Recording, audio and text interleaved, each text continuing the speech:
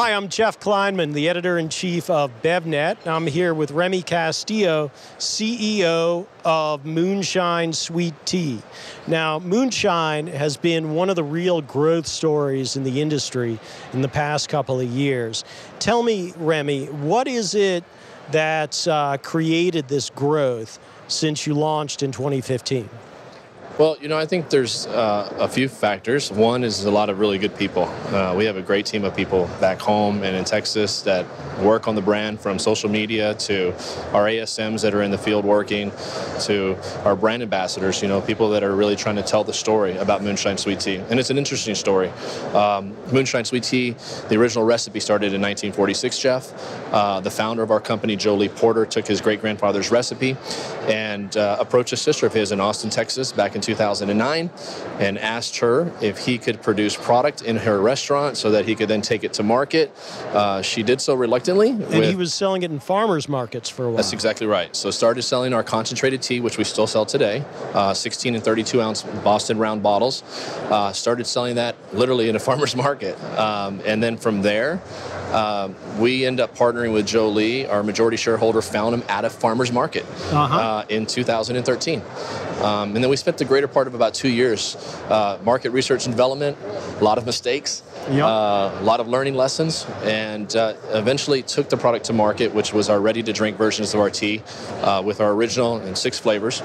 And HEB was our very first retailer that took us on as a uh, you know large grocery retailer in about 34 stores.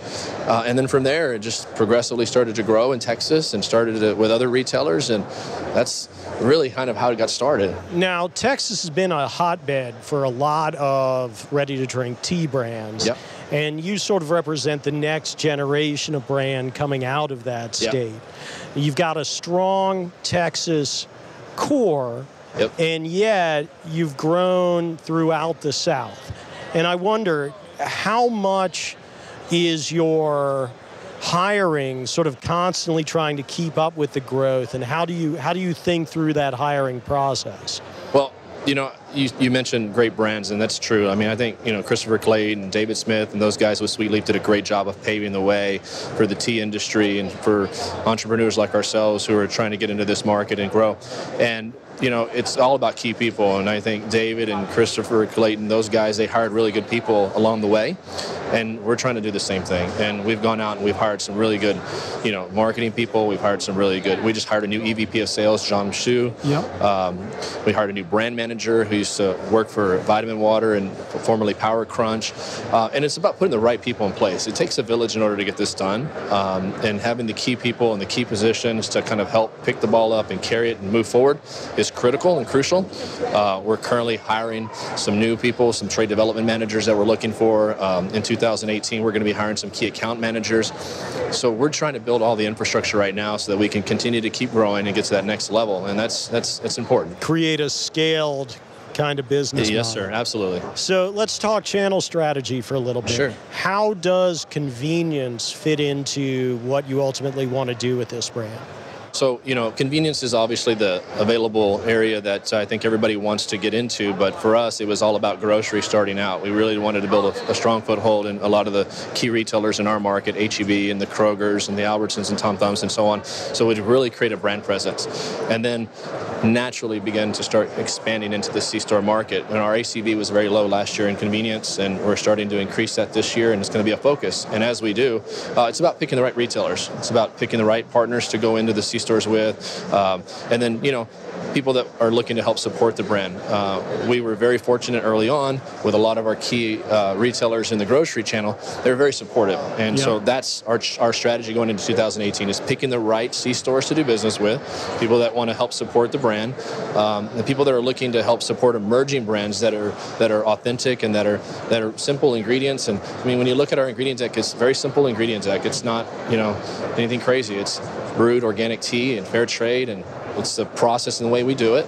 Um, and we want to just kind of take that message now to the C-Store channel this year. And that's a big focus. And this is why we're here at NACS. This is a great show. When you talk about retailer support, uh, how do you like to see that manifest? Is it through merchandising and end caps, or is it through a knowledgeable staff that's ready to direct people to the brand? It's a great question. I think it's probably both of those. I mean, I, you know, we all would love to have an end cap in every retailer in America. Who doesn't want that presence? But it's also about the knowledge uh, at the store level with management, and that that's that's that falls in part on us. And that's again, we're hiring the key account and the right people to help drive that message home to the retailers and, and create that share of mind.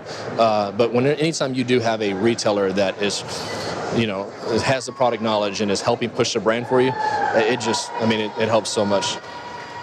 What are you hoping to do as 2018 approaches? I think continue to keep growing is first first goal.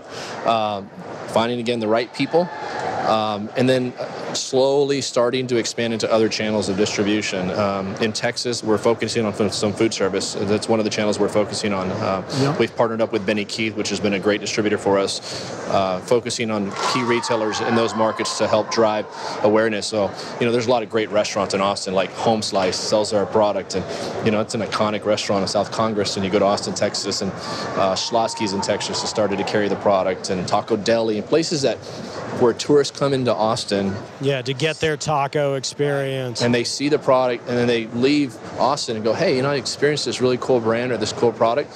There's a lot of great brands in Austin, Texas, and, and a lot of these great brands that you see in Austin are in these same places, and that's kind of been a route to market that they've taken. And it's time for us to start expanding into those, uh, you know, office complexes. There's an opportunity there uh, with you know those kiosk and the, the, those retail outlets that where you have a captive audience at a, at a you know a Google type environment or a Microsoft type sure. setting. The, so that's going to be the a co-working space. Yes, sir. Absolutely. Now you've got a, a product with a fairly sweet profile. I mm-hmm. mean, it's in the it's in the name, right? Moonshine Sweet Tea. Right. Uh, a lot of the consumer trends have been moving away from sugar and sweet. Uh-huh how do you make the argument to retailers that there's still a place for this kind of product? Great question. So innovation is part of it. We are a sweet tea, sweet tea brand. That's who we are. Uh, but in 2018, we'll be launching a five-calorie version of our teas that are sugar-free. Um, all the R&D is happening as we speak. Um, we have seven flavors kind of in the pipe right now, with the hopes of launching four of them um, and picking the right four. So we're doing some focus groups right now. We're doing some studies, some market analysis to determine which flavors we want to bring to market. Um, but that's part of it is innovation, um, and then expanding our, our concentrate lines. Uh, we've toyed around with a, a non-sweet concentrate. Yeah. Um, so we're, we're, we're trying to be innovative, and yeah. uh, we also have a, a half and half, like a sweet tea lemonade, that we're coming out with next year. So it's all about innovation and continuing to keep um, moving towards products that are going to be in demand. Uh, but we won't go away from our core brand. This is our core brand, but you know, offering options and that yeah. other other options to the market. One of the good things about a strong tea brand is you can do a lot of variations on a theme. A lot of flavor innovations, right. a lot of a lot of caloric innovations, but still, sweet tea. Is the, is it just a question of telling the retailer, hey, someone's always going to want a sweet tea?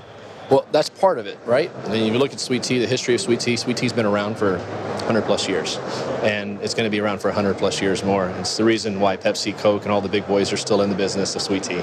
Sure. Um, there's a demand for it, um, and it's about again being innovative and bringing products to market that you know are going to be in demand. We know that T Index indexes well in a lot of these retailers that we're in. It's about again picking the right retailers, picking the right regions, picking the right demographics to go after, um, and it's again you know moonshine sweet tea is the core, but we will continue to be innovative and we will continue to bring products to market that are going to be um, available to consumers who may not want a sweet version. You know, maybe want a sweet tea, but don't want it as sweet as we you know currently have. Yeah. So that's that's all that's all part of it. All right. Well, Remmy, best of luck to you. Thank you. And we look forward to watching you grow. Thanks hey, very much. Thank you, Jeff. I appreciate it. Thank you yep. so much. From NACS, I'm Jeff Klineman.